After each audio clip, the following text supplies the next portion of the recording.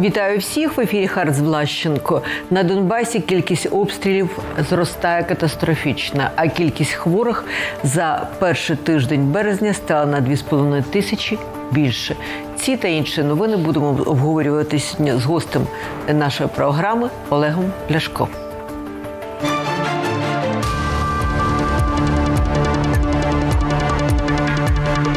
Народний депутат кількох скликань, опозиціонер, один з найвпливовіших позапарламентських політиків, колишній телеведучий та журналіст, має юридичну освіту, кандидат в президенти України у 2019 році, захоплюється колекціонуванням старовинних монет, різних моделей окулярів та незвичайних краваток.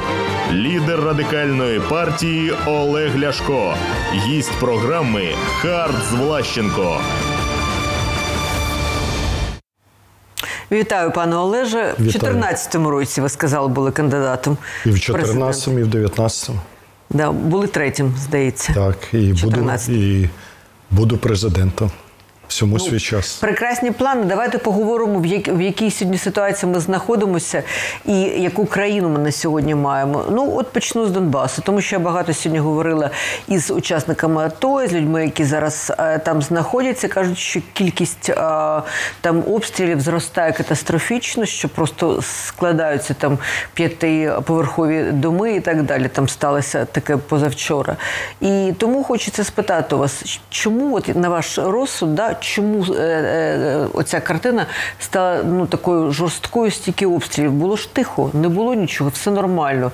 І чомусь е, все почалося знову. За те, що перед бурею. Реально ж війна не закінчена. Угу. І коли сьогодні ми чуємо повідомлення про те, що мирні плани якісь там лежать, немає ніякого мирного плану. Все це імітація. Який мирний план? Є одне, є мінські домовленості, які підписав, будучи президентом Порошенка. Ці мінські домовленості були підписані в умовах Дебальцівського котла і фактично чергового знищення після Іловайського котла частин е, нашої армії, збройних сил, добровольчих е, підрозділів тощо. Ці умови мінські були підписані під тиском. Вони підписані так, що їх виконання приведе до е, знищення розвалу країни. Москва, Кремль наполягає на їх виконанні. Україна не може їх виконати. Будь-який мирний план, який пропонує Україна Москві, Москва не прийме його апріорі, тому що наш мирний план який? Це відновлення контролю за кордоном, повернення територій, потім політичний процес. Так званий мирний план Кремля один це назавжди отримати право вето на визначення курсу країни. Насправді там навіть ключове не місцеві вибори, тому що по великому рахунку місцеві вибори можна було провести, потім через два місяці опять їх перепровести після того, коли відновиться ситуація за контролем. Там ключова вимога це надання особливого статусу для Донбасу у Конституції України і право вето. На зовнішньополітичні рішення, на військові рішення і цілий ряд інших. Але ситуація зараз набагато тривожніша, ніж вона була там три місяці тому, наприклад, тому що експерти говорять, що підтягуються з цього боку війська, дуже багато mm. військ. Да? Ну це з цього ви з якого маєте на увазі? Я маю на увазі з української сторони і з російської сторони mm. теж підтягується дуже багато військ. Ну ми зрозуміли, тому що ми ж переживаємо за свою територію. Да? Це з одного боку. З іншого боку, неможливо організувати нормандську зустріч, хоча вони є нашими партнерами по Будапештському меморандуму, і вони мають е, самі ініціювати таку зустріч. Скажіть, будь ласка, чи е, от з вашої точки зору, чи можливо, чи є небезпека великої війни? Це з одного боку, і з іншого боку, чи вірите ви ще, що нам допоможе Захід? Велика війна вже триває, якщо ви не помітили. Вона триває вже восьму весну. Ось е, в березні це восьма весна, коли почалася ця війна з окупації Криму і окупації Донбасу. І коли ми е, хтось хвалиться за тищем, це все такі умовні речі, тому що там, де мільйони стволів зброї, е, як пам'ятаєте, в класика навіть не заряджена рушниця раз у рік стріляє, яка вісить на стіні. А що говорити за заряджені гради, гаубиці, е, міномети, автомати і так далі? Вони стріляють щодня. І ми бачимо, скільки наших людей, військовослужбовців і мирних громадян від цього страждає. Хто нам що допоможе? Ніхто нам не допоможе, якщо ми самі собі не допоможемо. Але чи можуть зробити наші партнери, Сполучені Штати, Європейський Союз, для того, щоб підняти Росію максимальну ціну, е, щоб не вигідно було вести цю агресивну війну проти України? Безумовно, можуть. І тут ми маємо з об'єднуватися і кооперуватися. Але вирішення проблеми Донбасу політично станом на сьогодні немає. Вирішення тільки одним шляхом військовим. Тому потрібно робити, ведучи дипломатію, ведучи переговори і так далі. Треба робити все, щоб А будувати ви свою армію. підтримуєте ідею військового наступу? Дивіться, це не я підтримую, це логіка життя до цього приведе. Це питання часу. Це питання часу, обставин і е, політичних, і дипломатичних, і військових рішень. Головне, щоб той час, коли прийде, бути до цього готовим. Я думаю, що сьогодні ключове завдання, на яке маємо ми всі працювати, це їх кілька. Перше це побудова сильної економіки. Без сильної економіки не буде сильної армії, не буде сильної дипломатії. Друге це максимальне продовження посилення і запровадження нових санкцій і посилення старих санкцій. І третє робити все на те, е, на розвал Росії. Давайте говорити прямо. Ми повернемо ці території тоді, коли Росії буде не до Донбасу і не до Криму. От як у 90-ті, у них воно все розвалювалось, розлазилось. Чечня, Дагестан, Татарстан, А коли це може бути? Це залежить від е, ситуації в самій Росії. Коли від... почнеться транзит влади? Це б- може початись будь-якої хвилини. Е, Чорний лебідь прилітає тоді, коли ти його не чекаєш. Головне, щоб Україна була готова. Задайте радянську е, з е, переворот 17-го року, як Україна отримала незалежність. Після е, е, перевороту, коли впала царська імперія, ми скористалися цим і отримали незалежність. Інша справа, що ми її не вберегли. Не тільки самі винуваті у тому, що не вберегли, через пацифізм, через цих так званих демократів, які розказували, розпустили українську армію початку минулого століття, бо, мовляв, вона не потрібна. І потім проти армії Муравйова виставляли студентів. Через е, нездатність тодішніх великих держав визнати незалежність країни. Згадайте Версальську конференцію, де нам відмовили Польщі, дозволили, Угорщині дозволили, е, багатьом іншим країнам дали право на державність і самовизначення, а Україну позбавили цього права. Так от треба робити все для того, щоб самими бути сильними. Ну і безумовно ні в якому випадку не допускати ситуацію, щоб зовні, незалежно від того, зліва, справа, сходу чи з заходу, диктували умови, як нам жити і що робити. Тоді ми втрачаємо е, як нація, ми втрачаємо суб'єктність. Ми по великому рахунку вже її втрачаємо.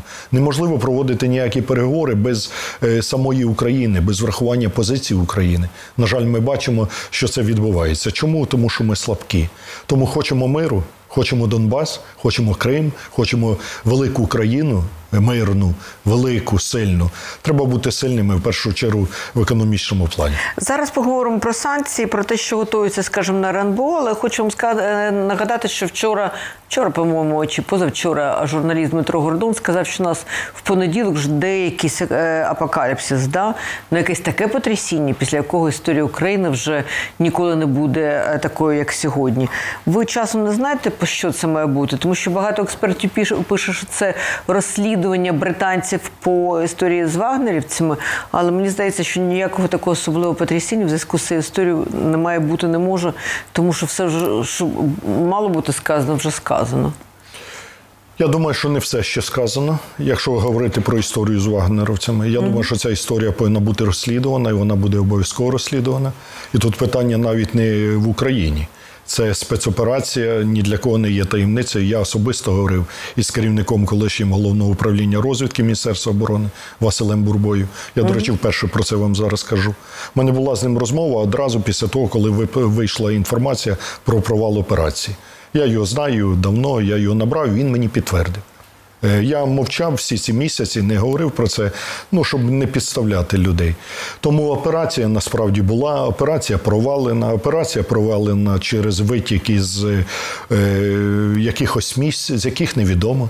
Я б не концентрувався тільки на офісі президента, тому що є кілька місць, де був е, інформація. Служба безпеки, офіс генерального прокурора, офіс головного управління розвідки і офіс президента. Офіс Всі ці офіси були інформовані. Е, в- в останню чергу, да, всі четверо офісів. Витік міг статися з будь-якого з цих офісів. Те, що це має бути розслідувано, це абсолютно очевидно. І це добиватимуться наші партнери, тому що е, особливість цієї операції полягала в тому, що це не була виключно операція наших спецслужб. Це була операція в кооперації з іноземними спецслужбами.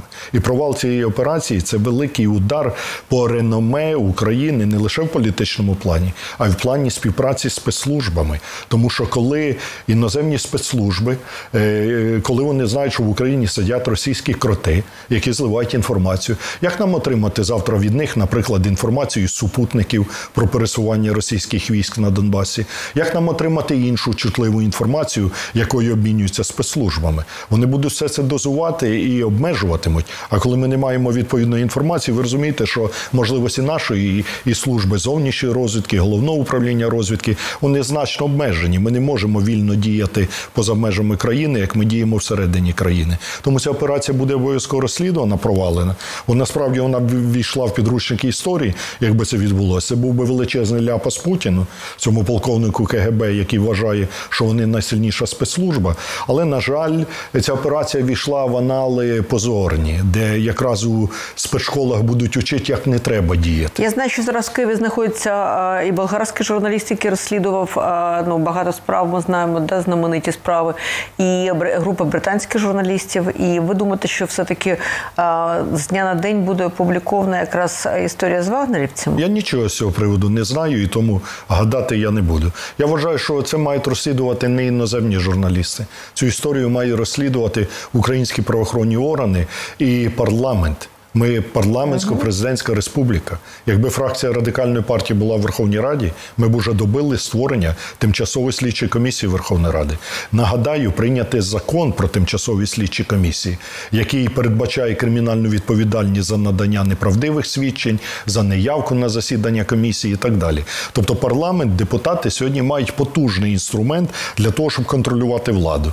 Якщо вони не здатні користуватися цим інструментом, це показує в тому числі і рівень їхньої професійної підготовки. Ну, ви бачите, у нас у парламенті в минулому парламенті було 20 депутатів. Повірте мені, без мене не приймалось там ні одне рішення. І коли ви подивитеся статистику е, ефективності е, різних депутатів і фракцій, фракція радикальної партії і я, як лідер цієї фракції, номер один по кількості законопроєктів, які набули чинності. Уявляєте, 20 депутатів, а найбільше прийнятих законопроєктів. Тому насправді треба вміти користуватися тими інструментами і парламентського контролю, і законодавчими інструментами, які є. Ну, ми ж бачимо, що практика останніх років, навіть скажімо, з отруєнням Навального і інші такі гучні справи, якраз що правоохоронні органи зливають е, ну, все, що вони знають журналістам. Журналісти це а, уже ну, там е, доносять до суспільства як власне розслідування. Я думаю, що так і зараз буде. Журналістські розслідування це надзвичайно важливо. На те і щука, щоб карась не дрімав. Тому журналістські розслідування якраз і змушують владу весь час. е, Вони повинні розуміти одне, що якщо вони будуть приховувати від людей факти, то е, чесні працівники правоохоронних органів зільють цю інформацію журналістам і ті оприлюднять. Ми живемо в світі, де неможливо нічого приховати. Треба до цього звикнути всім вже І жити. політики мають це знати. Абсолютно правильно. Я завжди кажу, от з ким я спілкуюся і кажу. У мене є кілька речей, кожен, хто мене знає, це підтвердить. Я завжди казав: живіть чесно, от живіть чесно і нічого не ховайте. Коли ввели ці декларації електронні, пам'ятаю засідання фракції, всі питали, там хтось питав, а що писати, а як писати. Кажу, пишіть, що є. Нічого не ховайте, тому що чим далі, тим воно все буде ужесточатися, повний контроль, і потім будете у сірка очі позичати, де взяли, мама позичила, тато позичив, бабушка покійна щось там позичила і так далі. Пишіть правду. Це раз. Друге, я всім кажу, хто зі мною спілкується, платіть податки. Платіть податки, тому що ви зекономите 3 копійки, не заплатите податків, умовно кажучи, квартиру, яка коштує 100 тисяч доларів, продали за 20, щоб не заплатити податки. А завтра, як ви легалізуєте ці 80 тисяч кеша, які ви отримали? Вас же спитають, де ви взяли ці гроші. Тому заплатіть податки, спіть спокійно. Тому що коли ти не платиш податки, сьогодні зекономив 3 копійки, завтра в 10 разів більше адвокатам плати, взятки прокурорам, суддям плати і всім плати. Для До чого ж тоді не платити про теж в сучасному світі нічого не приховати. Президент на форумі на початку е, цього тижня сказав про те, що е, там і його команда буде клопотатися про те, щоб закрити е, певні ютуб канали і так далі. Що цей процес буде йти. Крім того, буде створений центр протидії дезінформації. Як вважаєте, от якщо ну чи це не тупиковий шлях закриття там ютуб каналів чи там ще якихось каналів і так далі? Ну, в принципі, ну може можна обмежити якусь інформацію в е, там в, в сучасному інформаційному середовищі. Ну, це надзвичайно важко, це майже неможливо, я б сказав. Але держава, яка перебуває в стані війни, вона не просто має право, вона зобов'язана захищатися. І боротьба із російською Через які інструменти? Е, через різні інструменти. Головне, щоб ці інструменти були законні. І головне, щоб ці інструменти не обмежували реальну свободу слова і право людини. Щоб під приводом боротьби з російською дезінформацією не накидали людям намордник і не заваж... і, Ну, і не переслідували за політичні погляди. Тому держава Україна, яка є жертвою російської агресії, правильно зробила, що закрила медведчуківські канали. Це рупори кремлівської пропаганди. Це мав би зробити Порошенко, але він цього не зробив, тому що кремлівський чорт Медведчук це був партнером Порошенка і продовжує ним бути. Зверніть увагу на реакцію, коли не вилазили з каналів Порошенка Медведчук, і де виправдовували і розказували про незаконні закриття цих каналів. Але надзвичайно важливо, щоб оця боротьба з російською дезінформацією, фактично підривною роботою диверсійною інформаційному просторі країни, щоб вона не перейшла ті червоні лінії, де влада використовує ці інструменти для обмеження свободи слова, для заборони працювати журналістам і для обмеження політичних прав громадян. Е, РНБО буде засідати чи завтра, чи післязавтра. Оголосили, що завтра. Ну от кажуть, да, да, що перенесли на четвер. Чи є у вас як, якась інформація, що буде завтра на РНБО? Тому що говорять про можливі санкції по Коломойському, по Фірташу, який сидить на чемоданах і кажуть, що Австрія практично готова до екстрадиції. А, говорять, що це може може бути рішення по Донбасу, тому що дуже така обстановка, як ми вже з вами обговорювали, і так далі. Чи є у вас інформація, що буде, чого будуть стосуватися санкції на РНБО? Порядок денний РНБО, я думаю, буде оприлюднений, і ми все це побачимо. Але якщо говорити про засідання РНБО е, пов'язане із ситуацією на Донбасі, воно мало відбутися ну як мінімум два тижні тому, коли бойовики, так звана народна міліція, ЛНР, ДНР, цих терористичних е, російських угруповань оголосили про те, що вони будуть обстрілювати наші позиції. Хіба це не привід Рада національної безпеки і оборони? Хіба це не привід для негайного скликання? Адже фактично одна із сторін е, конфлікту, контрольовані Росією бойовики, вийшла із е, цього так званого перемир'я. Тому РНБО мало бути проведено два тижні тому. Надзвичайно важливо, щоб РНБО не перетворилось на такий піар РНБО. Розумієте чи ні? Що ми знаємо, що по п'ятницях чи по четвергах традиційно перед вечірнім шустером отримуємо засідання РНБО, причому із якихось дріб'язкових питань. От головне не мільтішить. Розумієте, коли минулого тижня провели засідання РНБО і виявилось заради чого? Щоб позбавити генералів зрадників звання, так я хочу сказати, що це взагалі функція суду. Це суд повинен е, винести вирок зрадникам і як додаткова міра покарання позбавити державних нагороди, позбавити державних звань. Це військових звань. Це не взагалі не функція РНБО. Хай покажуть, де в положенні про РНБО про це написано. Тому е, розумієте, вони вже е, так вигадують, щоб їм іще які рішення, щоб бути популярними. Засідання РНБО повинні бути не заради підняття сіюмінутного рейтинга. Рада національної безпеки і оборони це найсерйозніший колективний орган з питань національної безпеки і оборони. Він не повинен перетворюватися на піар-департамент офісу президента чи для того, щоб підтримувати рейтинг президента. Тому що знаєте, як у тій казці, коли один раз кричить вовки, вовки, другий раз кричить вовки, вовки. А коли прийшли реальні вовки, то ніхто не вийшов і не відреагував. То ці засідання РНБО, коли їх проводити занадто часто із дріб'язкових приводів, закінчаться тим, що коли РНБО має прийняти серйозні рішення і негайно зібратися, усі будуть це сприймати як шутовство, як несерйозне. Не треба. Я звертаюся до е, секретаря РНБО Олексія Данилова, якого я знаю багато-багато років, свого земляка з Луганщини. Е, він серйозний чоловік.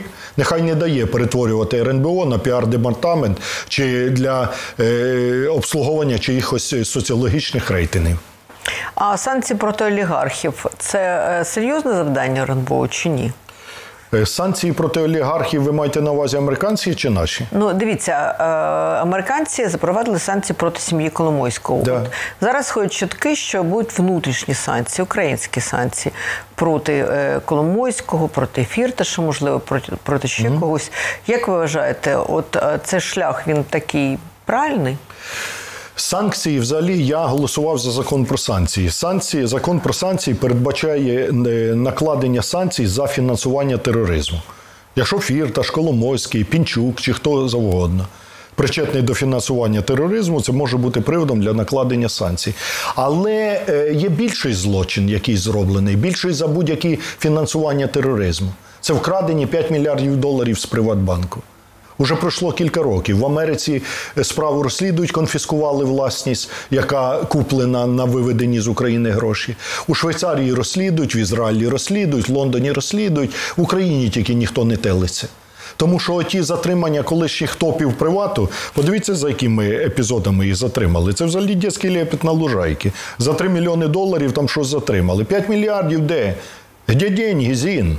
Як Володимир Семенович Висоцький співав. Де 5 мільярдів Ну, це ж доларів? треба питати Валерії Гонтарєвої, вона живе в Лондоні зараз. Ні, це, це треба багато питати. інших людей. Це треба питати не в Гонтарєвої. Це треба питати всіх, хто, по-перше, допустили розкрадання цих коштів. Я сказав би не в Гонтарєвої, а не лише в Гонтарєвої. Це треба питати в усіх, хто допустили розкрадання, і друге, в усіх, хто зобов'язаний вернути ці гроші. Тому що вкрали не просто 5 мільярдів з привату. Давайте задаємо ще про 160 мільярдів гривень, які були з бюджету виведені і введені в приват для того, щоб порятувати цей банк. Тобто 5 мільярдів доларів і 165 мільярдів гривень. Це все кошти українців. Це вкрадені в українців кошти. Це вкрадені кошти в пенсіонерів, у вчителів, у лікарів, у військових, у шахтарів, в енергетиків, в селян. Це вкрадені в людей кошти. Порахуйте, он пенсіонерам з 1 березня додали по 100 гривень. Скільки б могли додати, якби оці мільярди мільярди вернули і повернули Але українцям? Це був груповий злочин. потрібно Безумовно, сказати. тому всі, хто вкрав ці гроші, повинні відповідати. Але хто- в мене є великі А що це за люди? Як що за люди? А, почитайте дослідження Крол. Колишні власники банку, Коломойський, Боголюбов, Ну, а крім керівництво. Це ж не могло бути без участі державних е, там я не знаю Нацбанку, ще інших Е, Правоохоронці структур. є правоохоронці. Я не суд, я не прокурор. Я не збираюся на себе брати ці функції.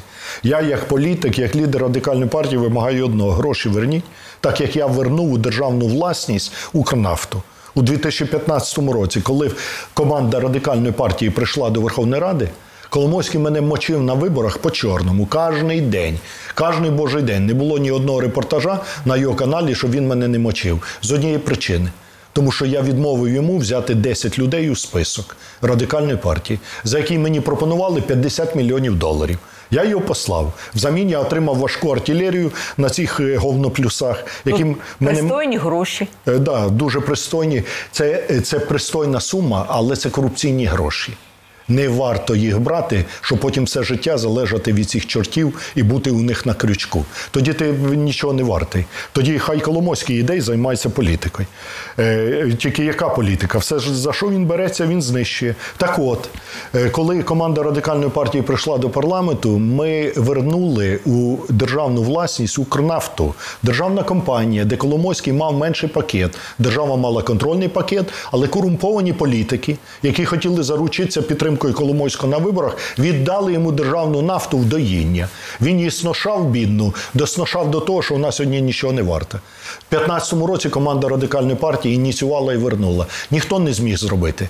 Ні Янукович, ні Ющенко, ні Тимошенко, ніхто не зміг у Коломойського забрати Укрнафту. Ми забрали. Я хочу подякувати тодішньому прем'єр-міністру Арсенію Яценюку, що він підтримав нашу боротьбу, і уряд підтримав це, і в парламенті Народний фронт дав голоси, і ми забрали Укрнафту. Отак, як ми повернули в державну власність Укрнафту із пазур Коломойського, отак сьогодні держава повинна зробити все, щоб вернути ті мільярди, які були вкрадені. Якщо вони цього не зроблять, я це зроблю. У мене шкіра після їхнього говнометання на мене отака. Мене вже нічим не візьмеш. Я нічого не боюся. Я незалежна людина. І я не побираюся на взятках. Тому я зроблю все, щоб з-під землі знайти ці гроші і вернути. Щоб не було так, як у випадку з Лазаренком. З лютого 98 року Лазаренка немає в Україні. Він в Америці. В Америці засудили, в Швейцарії засудили. Там конфіскували сотні мільйонів доларів. Україна не отримала ні копійки. Ні копійки. Ну кажуть, що так буде і з Фірташем, тому що навіть якщо його екстрадують, кажуть, що на його ну вчора так м, Саакашвілі сказав в ефірі. Він був на Харді, що на його власність претендують Сполучені Штати Америки. Так, звичайно, тому вони всі борються за це. Так е, дивіться, у них є там рахунки, є офшори. А тут в Україні у них є якісь активи. От всі ці активи повинні бути арештовані, щоб вони не перепродали, не вивели і е, могли потім Так, бути чого ми чекаємо? продані. Чого чекаємо Він за же арештований Фірташ багато років. Е, Чого ви, пита... Затриманий. Чого ви питаєте мене? Спитайте в президента Порошенка. Спитайте у нинішнього президента. Ну, президент при Порошенко владі. кажуть, їздить до нього у відень. Так от, е, от вам і відповіді на ці питання. Це в них питайте. Е, Я, коли буду при владі, мені питань ніхто задавати не буде, тому що я буду діяти надзвичайно швидко. Ви не встигатимете питання задавати, як ми будемо діяти. Я і так не дуже встигаю питання задавати. Е, Сьогодні було енергетика. Вічне питання. Сьогодні кажуть, що було е, постанова комісії енергетичної. Що там відбувається з вугіллям і таке інше? А ви чули, НКРЄКП звернулося до Ради національної безпеки і оборони, щоб розслідували дії компанії, чому в Україні немає вугілля. Ну, це просто ідіотізм. Те, що робить сьогодні НКРЄКП і голова Валерій Тарасюк. До речі, я вам скажу, Валерій Тарасюк, голова НКРЄКП, це ставленик Віктора Пінчука. Е, Пінчук його поставив на цю посаду. І в мене є абсолютно залізні докази про те, щоб це стверджувати. Не лише е, е, той факт, що завдяки бездіяльності НКРЄКП фірми Пінчука закуповують російське вугілля. У мене є деякі інші факти. Наприклад, розкажіть нам, ну поділіться з нами. Е, з- Я знаю цей зв'язок між Пінчуком і Тарасюком із 2015 року, з 2014 року. Віктор Пінчук пропонував Тарасюка у список радикальної партії. Скільки, скільки пропонував за Тарасюка? Ні, ні, ні, про гроші, гроші там не йшлося. Рекомен- про що йшлося? Рекомендував як фахівця, як фахівця в енергетиці і так далі. І так далі. Е, Ми його не взяли в список. Особисто Пінчук пропонував Тарасюка у список, виборчий список, для того, щоб цей Тарасюк лобіював його інтереси. Коли йому не вдалося запхнути до нас е, Тарасюка, я так розумію, він запхнув його е, через Геруса, запхнув на НКРЄКП. Сьогодні Тарасюк фактично обслуговує інтереси Пінчука разом із Герусом, а попутно й самі три копійки тирять. Рідний брат Тарасюка е, працює на енергоринку і користується, очевидно, інсайдерською інформацією з НКРЄКП для того, щоб на цьому заробляти. І тому, коли сьогодні НКРЄКП і голова Тарасюк звертається і ставлять претензії до приватних компаній, чому вони не купили вугілля, на себе в дзеркало подивися. А за що ці приватні компанії куплять вугілля, якщо ви добили енергетику? Якщо ви створили мільярдні 80 мільярдів боргів на енергоринку, за які гроші купувати вугілля? Вугілля не з неба падає, якщо хтось не знає. Це інколи метеорити можуть з неба падати. А вугілля видобувається під землею. І для того, щоб видобути вугілля, туди треба інвестувати мільярди і не гривень, а доларів.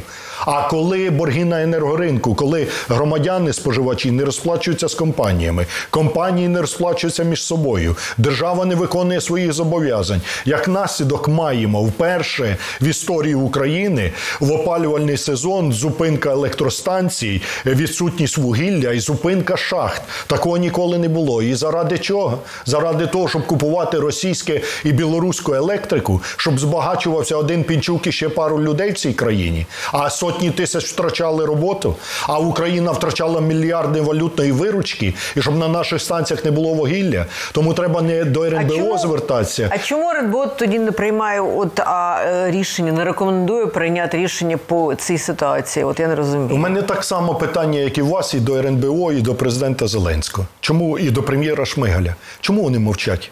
Чому вони дозволяють купувати російське і білоруське вугілля? Взагалі, купівля біло, е, білоруської електрику. Взагалі, купівля білоруської електрики це не просто не бізнес. Для Росії це взагалі ніколи не було бізнесом енергетика. Для Росії енергетика це завжди інструменти впливу, інструменти захоплення, інструменти монополізації, політичного впливу. Але якщо говорити за білоруську АЕС, ну це фактично продовження Росії. Вона побудована за гроші російського кредиту 3 мільярда євро. Європарламент вводить санкції проти тих, хто купує електрику з білоруської АЕС.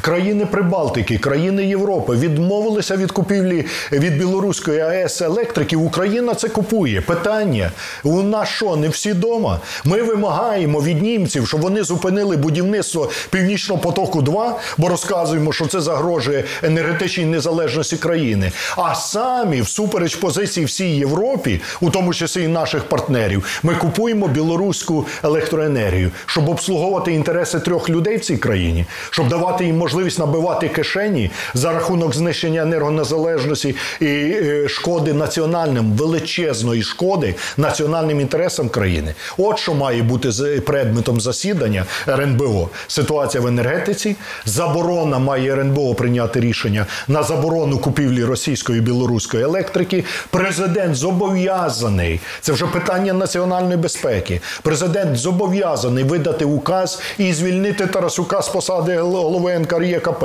Там не тільки про- професійна непридатність і повна робота на Росію, Ну, це а ж там і посада сак- корупція. Це посада сакральна. Ми пам'ятаємо, що попередній теж е, е, спокійно працював. Порошенко Да. призначив Вовка, який обслуговував інтереси Порошенка. Тепер Тарасюк обслуговує інтереси Пінчука Традиції. разом із Ерусом. Тому що на енергетиці, замість того, щоб створювати робочі місця, кожен намагається поживитися, кожен намагається набити кишені. Я не проти, щоб люди заробляли, ну тільки заробляйте чесно. А що ви даєте заробляти русським і білорусам? А чого ви не даєте нашим українцям заробити? Чим перед вами завинили українські шахтарі і енергетики, що ви їх оставляєте без роботи? Вони ж за вас голосували, за зелених. Вони ж голосували за вас. Чого ж за те, що вони за вас голосували, ви в них тепер відбираєте кусок хліба, відбираєте в їхніх дітей взагалі можливість жити в цій країні. За що ви такі невдячні цим людям, які за вас голосували? Чому ви руським е, створюєте робочі місця за наш рахунок? І фінансуєте російський бюджет, який потім убиває наших солдат і військових на Донбасі. Тому РНБО нехай не дурньою мається, а хай приймають справді ті рішення, які захищають національну безпеку країни. Корона. Корона, ну, проблема колосальна, тому що знову рівень е, кажуть, що у нас якийсь новий штам, британський штам, рівень смертей е, почав підніматися. Знаєте, я е, весь тиждень дивилася Івано-Франківська червона зона, Закарпатська червона і так таке інше, львівське червоне, але включаю онлайн боковель камери. І народ катається, всі підйомники відкриті, коли б люди виїжджають, бачу, ну все як, е, як то має бути на лижному курорті. І а, як ви думаєте, чому ми не змогли запровадити систему, яка б дійсно в Німеччині неможливо порушити? Там зараз жорсткий дуже. В Ізраїлі неможливо порушити. Там дуже жорсткі правила. У нас, в принципі, ніхто не хоче виконувати. Зах- Заходите в будь-який е, торговий центр. Половина йде в масках, половина отут десь у них, е, знаєте, маски. А, і я думаю, що це теж е, чинник такий великий для того, щоб е, не- падала от ця е, кількість захворювань. Україна не Німеччина, на жаль, і на щастя. Тому що десь і Німеччині Ну, супер. в, в даному випадку, на жаль, Але е, Україна унікальна країна, і цю унікальність, ідентичність треба берегти. Тому що в цьому глобальному світі стираються кордони, стирається все. Нація втрачає взагалі самоідентифікацію. Це те, що нас тримає. От чому нас землю хочуть забрати? Вибачте, що я зараз не за корону. Да? Угу. Земля... зараз поговоримо за корону. Так Е, Да, земля це для українців сакральне. Віддамо землю, будемо ніхто. Перекоти поле. Тому не можна, не можна нікому, нікому віддавати землю за жодних умов. Тепер повертаючись до а зараз хіба е, пане Олеже, а хіба вже це можна якось назад е, відкотити? Все можна. Закон проголосований, ратифікація буде. Все можна. І я це зроблю. Все можна. В національних інтересах заради майбутнього країни. От дивіться, минулого року, в кінці, в грудні, парламент приймає рішення і знижують податки е, для тих, хто вивозить зерно, для Вірівського. Ціна питання 8 мільярдів гривень. Втрати державного бюджету. Але отримує Вірівський, який вивозить зерно з України. Президент підписує цей закон. Тобто, ви вивозите зерно, зерно з України, ви платите 14% ПДВ. А коли ви йдете, купуєте хліб в магазині, ви платите 20% ПДВ. Скажіть, як за цих умов можна відновити виробництво в селі? Ото там проводять форуми, розказують, що будуть будувати в селах дитячі садки. Ніяк. Хто, хто ти в дитсадки? Для кого? Правильно, хто в ті дитсадки дітей поведе, коли там людей немає. А людей там не буде, коли виробництва немає. В селі ж не живуть люди, тому що їм подобається дихати природою. Люди живуть в селі, тому що вони пахають, як раби зранку до вечора. Так от вони приймають закони, які заохочують дармове вивезення зерна з України. Замість того, щоб знижувати податки на переробку, щоб відновлювати переробку в селі. І вони нам розказують, треба продати землю, і тоді все буде нормально. До цього от знизили податки для тих, хто вивозить зерно. Додайте до цього продаж землі. Що буде на тій землі? Вакханалія. Вакханалія. Сіятимуть що завгодно, виснажуватимуть землю. Хто не був в селі, не знає, що таке земля. Я скажу. Для того, щоб земля родила, її треба удобрювати, дотримувати сівозміни, е, дотримувати порядок її використання. Якщо ти цього не дотримуєшся, цих стандартів за 3, 5, 7 років Вона ця земля буде виснажена як пустеля. Вона не даватиме врожаїв. Так ось сьогодні варварська експлуатація землі для того, щоб вивести зерно, менше заплатив податку, більше поклав в кишеню чи на офшорний рахунок. Як з такою політикою відновити село?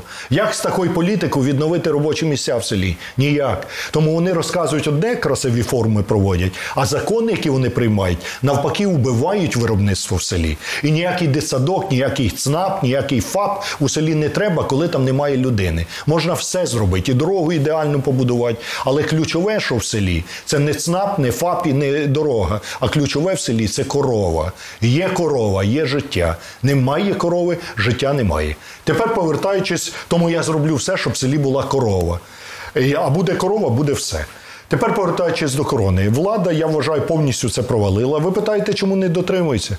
У Німеччині ви бачили, щоб працювали вілюри, оці гадюшники? Ні. А в Україні працюють. Он у Німеччині депутат Бундестага, його фірма була причетна до купівлі китайських масок.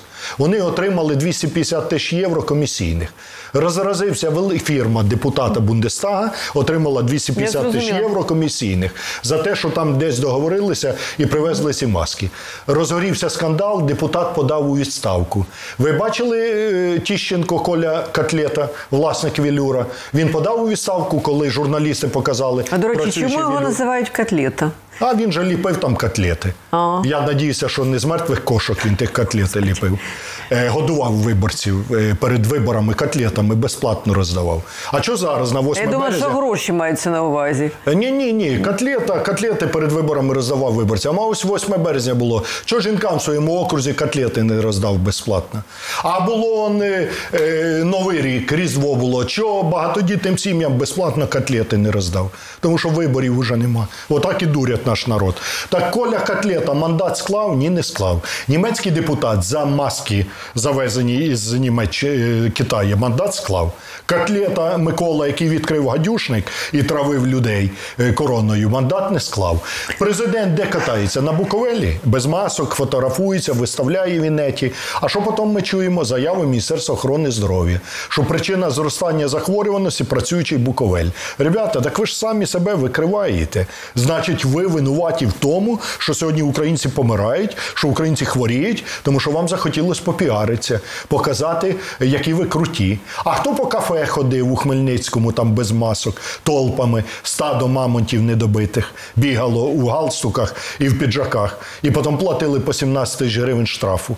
Деяка людина може заплатити 17 тисяч гривень штрафу, а вони можуть. От вам відповідь на питання. І додавте до цього безвідповідальність значної частини самих українців, які вважають, і ви знаєте, що досі є люди, які вважають, що корони немає, що все це вигадки. От сьогодні я спілкувався з головою Нацбанку Кирилом Шевченком. У нього корона. На превеликий жаль. Я йому бажаю одужання Кирилу і е, повернення. Повернення в строй. У мене дуже багато знайомих біля мене. Ну, депутат Камельчук, слуги народу, вважає, що е, імунна система все подолає, що вакцинуватися не потрібно, наприклад. Е, б- Хотів би, щоб імунна система подолала. Він але, такий але, але майже 30 тисяч українців померли, їхня імунна система їм не допомогла подолати. На превеликий жаль. Ну, е- Е, Що ви хочете? В Україні досі 20% людей, які вважають, що на Донбасі немає російських військ, що на Донбасі немає російської агресії.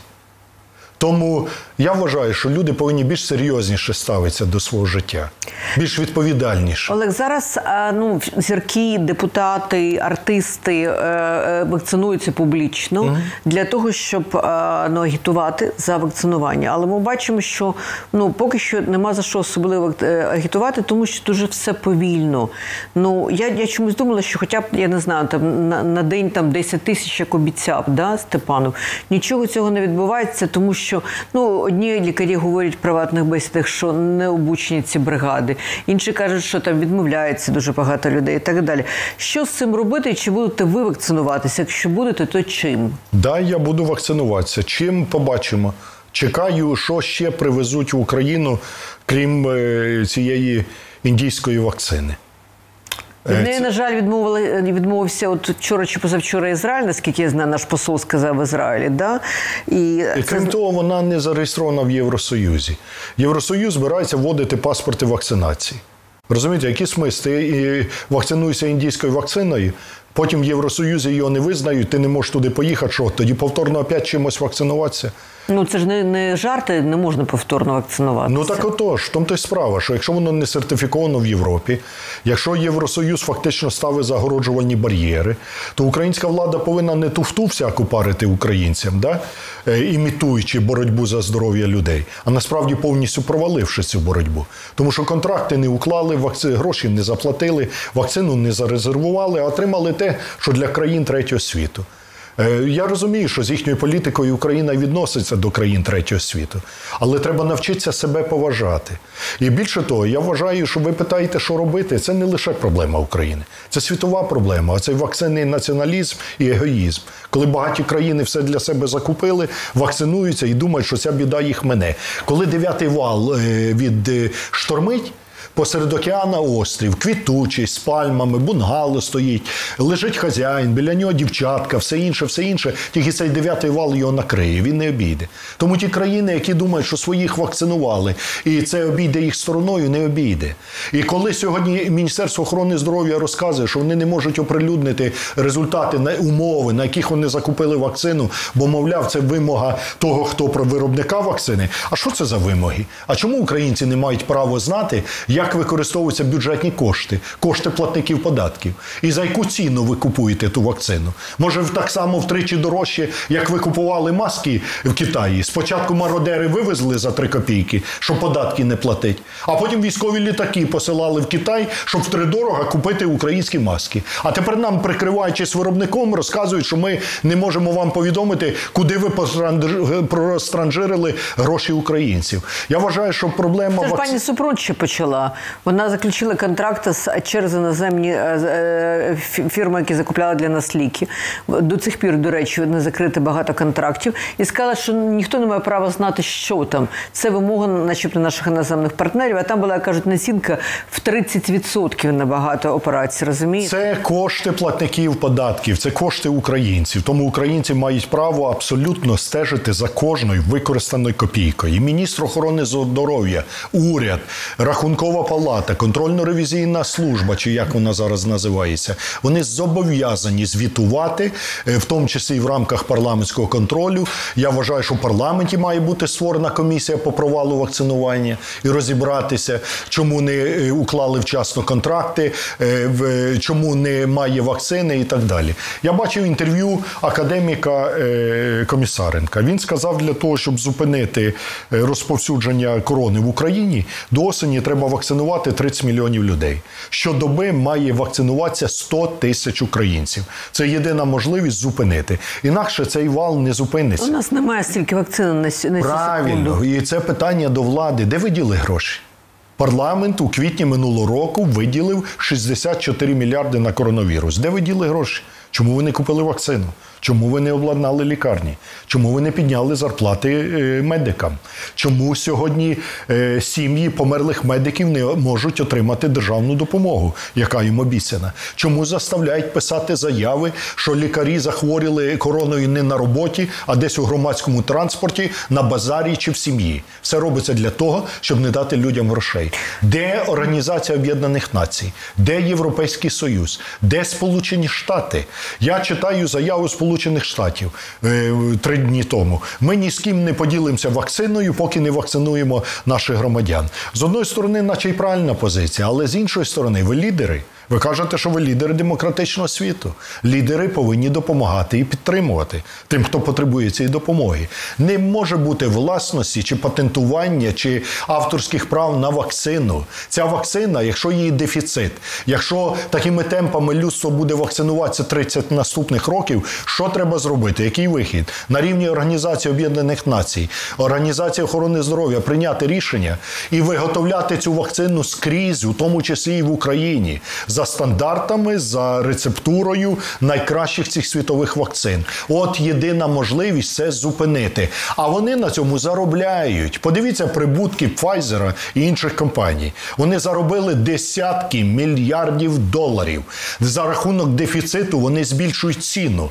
Тобто, фактично наживаються. Хтось помирає, а одиниці наживаються на горі, на смертях і на бідних країнах, яким продають утридорога цю вакцину. Де загальнолюдська відповідальність? Ребята, я звертаюся до Байдена, до всіх інших. Ми живемо на такій маленькій кульці, е, яка називається Земля. І ми всі відповідальні. А ви не хочете е, дізнатися, скільки стоїть український імуноглобулін, який виробляється в Україні? Я вчора дізналася і прозріла.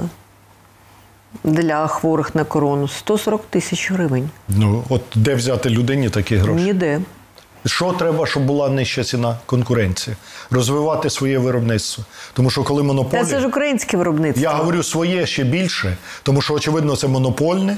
Вони тільки користуються тим, що одні вони, і за рахунок цього ціна. 20 таких виробництв поставити. І е, А держава, а держава має регулювати такі речі в період пандемії. Безумовно, держава зобов'язана реагувати, реагувати, е, контролювати ціноутворення на соціально вразливі продукти, на ліки, е, соціальна відповідальність держави, контроль держави. У нас маса чиновників, у нас в аптеках продають крейду замість ліків. Хіба держава не повинна реагувати? У нас людина кусок хліба купити не може, тому що ціни виросли на хліб, на крупи, на борошно. Подивіться он інформацію мукомелів. У цьому У нас місяці... немає вакцини БЦЖ більше в Україні. Ви в курсі, Я що це дітей знаю, да, у, у роди, в, в родильних відділеннях. Я в курсі. І я е, вимагаю від Міністерства охорони здоров'я, щоб вони негайно забезпечили. Не лапшою нас забезпечили на вуха, а вакциною БЦЖ для новонароджених діточок, які сьогодні без е, е, можливості захистити себе. Зверніть увагу на іншу інформацію. Асоціація мукомелів оприлюднила у лютому місяці найменше за всю історію спостережень е, в Україні вироблено борошна. Знаєте чому? Тому що завозять все імпортне. Уявляєте, країна, яка е, імпортує, експортує е, десятки мільйонів тонн зерна, ми скоро перестанемо виготовляти борошно. На всю країну, по-моєму, 60 тисяч тонн борошна е, випекли, виготовили. От до чого веде політика продажу землі і всього іншого. Борошна скоро свого не їстимем. Е, Вивезли 64 мільйони тонн зерна, за кордоном переробили, за кордоном роботу залишили, за кордоном зарплати дали, додану вартість, а в Україну привезли імпортне борошно. Ще одне питання перед Бліцем. Як ви поставилися до новини про велику реставрацію? 2 мільярди безпре- безпрецедентна сума, дуже велика на реставрацію. От якщо в контексті, що ми сьогодні все обговорювали, що нам не вистачає на там на, на багато речей, в тому числі немає у нас БЦЖ, в тому числі ми не можемо доплату лікарям зробити. В тому числі спитайте будь-якої людини, яка вже переболіла короною, компенсували щось чи ні? Ну, абсолютно більшості нічого не компенсували. Люди самі ліки купляли, самі лікувалися і так далі. Отже, Реставрація пам'яток архітектури. Так, так, я так, обома замки. руками за. Я вважаю, що це дуже правильне рішення, так само, як і будівництво. Це моя політика. Будувати треба. Україна сьогодні велика свалка. Треба зробити все, щоб це була найкраща країна. І тому будувати, будувати, будувати, реставрувати, створювати робочі місця, дати людям Не життя. дивлячись ні на що. Не дивлячись ні на що. Ви мене питаєте за велику реставрацію. Я вам наведу, е, кажу, що це історичний факт. Угу. Е, коли в 40-му році німці бомбили Лондон, Британію, Люфтваффе, е, міністр фінансів прийшов з бюджетом, де були урізані видатки на культуру. Прем'єр знаю Черчилль запитав, а за що ми тоді воюємо? Тому давайте не протиставляти велику реставрацію, реставрацію, Так, збереження. коли хтось каже, що не час, Черчилль сказав, а тоді не- та- то не час, тому що війна, а за що ми тоді воюємо? Звичайно. Тому реставрація пам'яток архітектури, збереження пам'яток архітектури для нащадків, е, для прийдешніх поколінь це дуже правильне рішення, дуже правильне. І це треба робити. Бліц, Бліц Олегом Ляшко. Як ви поставилися до е, пропозиції пана Данілова е, зробити англійські другою мовою в країні? Я вважаю, що це е, чи друга, чи третя, байдуже, але повинні вивчати з дитячого садка. Я зараз вчу англійський, вчора в мене був сотий урок. Але я проти того, щоб люди не вчили російський. Я вважаю, українська однозначно рідна мова, всі повинні в Україні знати. Треба і англійську вчити в обов'язковому порядку, і російську теж вчити. Не треба відмовлятися від російської мови. Носії російської мови не тільки кремлівські чорти, а й е, багато чудових людей, які писали російською мовою. Тому брати відмовлятися від знання російської це Ну, відрізати. Арсен Аваков вже сказав про це в інтерв'ю. Як, він сказав, сл- слобожанська мова. Е, російська. Е, брати, відрізати себе. Слухайте, е, хтось каже слобожанська російська. Рабінович там розказує, що українська якась там непонятна яка. Українська це українська, російська це Україна, російська. Брати відмовлятися від російської, це в тому числі відмовлятися від величезного пласту культури. Не треба від цього відмовлятися. Чим більше ми знаємо мов, тим краще. Тому я категорично за те, щоб е, всі в Україні знали і українську, і англійську в обов'язковому порядку, і російську, і китайську треба вчити, і іспанську кілька мільярдів людей говорить. Чим більше людина знає мов, тим краще. Сьогодні багато глядачів цікавилися, як вам зараз живеться матеріально. Нормально, слава Богу. Хай би кожен так жив, як я. Я зроблю все, щоб в Україні всі так жили.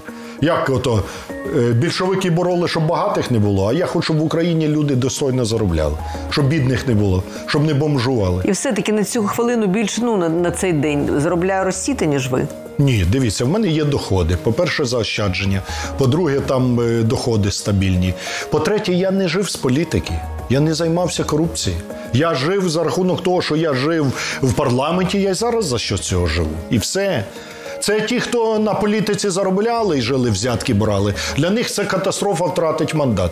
Для мене мандат є, немає. Це мені знаєте, ні холодно, ні жарко. Я Ляшко Отже, без ви- мандата чи з мандатом. Отже, ви живете на відсотки від заощаджень, чи від, у вас є якийсь маленький бізнес? Е, В нас є бізнес. Я живу на відсотки від заощаджень. А який? Поділіться секретом. Можете поділитися? Для чого? Це не секрет. Е, В Росіти дитячий садок є. Так. Приватний дитячий садок. Я зараз розглядаю варіанти війти в якийсь бізнес, купити компанію.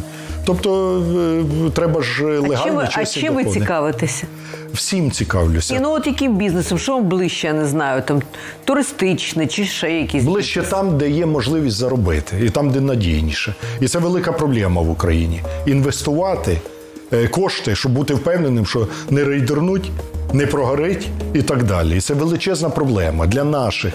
Ви кличете е, влада закордонних інвесторів, та ви своїх інвесторів хоча б зробіть, щоб вони тут нормально себе почували, а не боялися. Тому інвестувати в Україні це величезна проблема і величезні ризики. І до тих пір, поки ці ризики і проблеми будуть, до тих пір розвитку економіки не буде. Як ви поздравляли Росіту з 8 березня? Ми е, квіти подарували мамі. Привітання. І Шурік е, в цей день вперше в житті сказав мама і тато.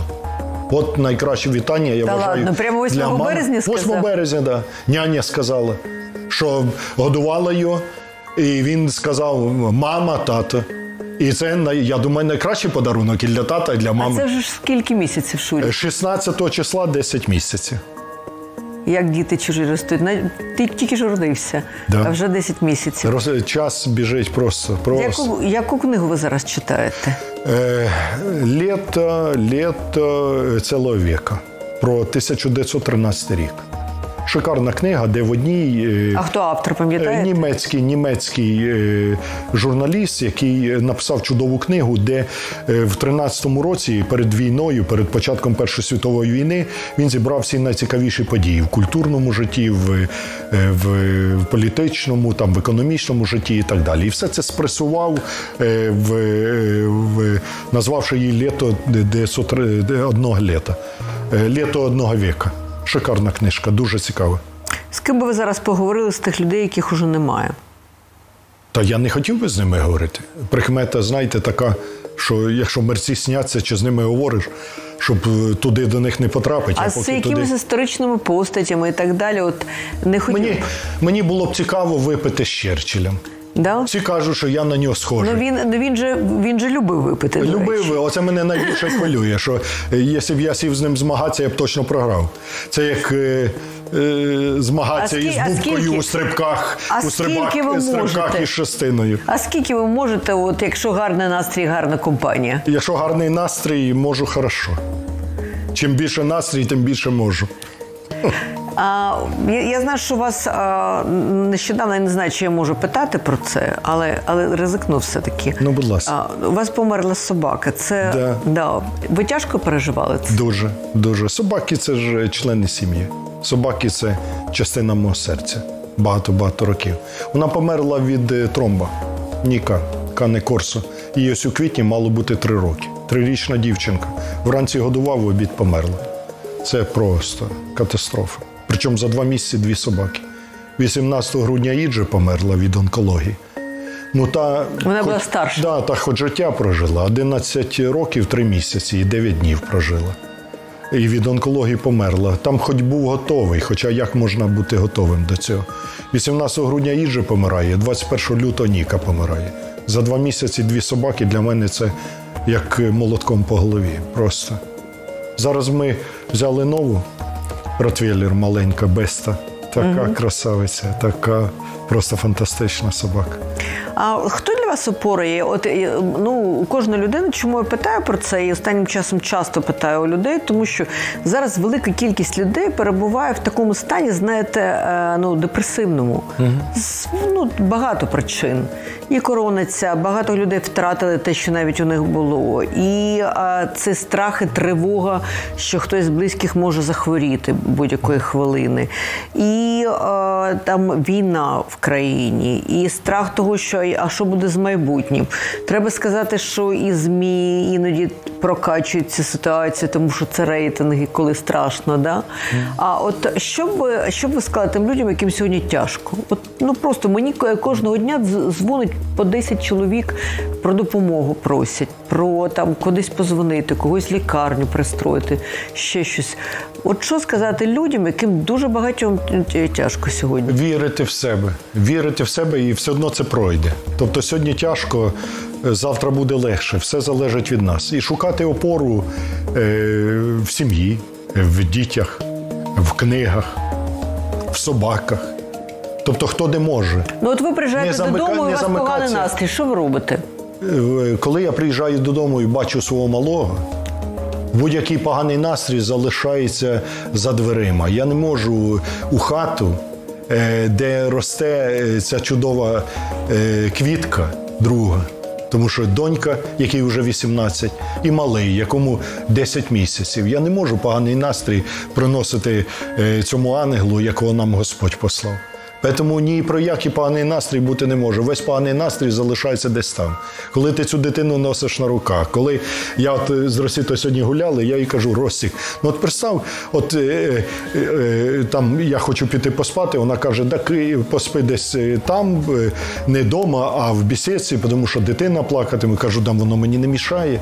Я вже взагалі не уявляю своє життя, щоб дитина не плакала, чи сміялась, чи плакала. Для мене це як музика, як симфонія.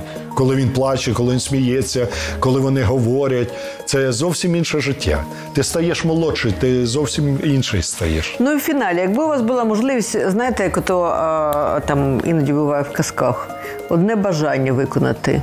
От вам кажуть, що одне бажання можете.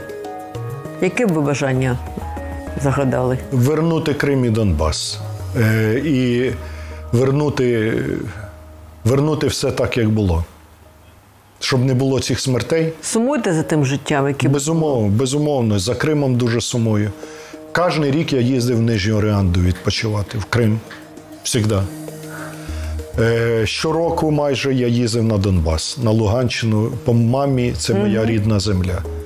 От якби була можливість загадати одне бажання, я би це все вернув би. Я б зробив би все, якби в мене була Ну можливість. і вже наприкінці, вже дуже швидко на 30 секунд. То можливо, ви сьогодні по-іншому дивитесь на те, потрібен був майдан чи ні? Майдан потрібен був однозначно. Без Майдану е, не було б України сьогодні. Але розвиток подій, я думаю, що можна було б зробити його по-іншому, пустити по іншому шляху. Можливо, треба було ще більше зробити все, щоб воно без крові було. Тому що кров це така штука, як тільки вона починає литися, попробуй потім зупинити. Тому треба зробити все, щоб не допустити, щоб не проливалась кров. Дякую, дякую, Олег Вале- Валерійович. Ми в фіналі. Що ж, друзі мої, говорили сьогодні про багато таких речей, знаєте, які болять. А як без цього, тому що ну така ситуація в країні. Ви були з нами. Я ми вам дуже вдячні з Олегом Ляшко. А прощаюся з вами до завтра і нагадую,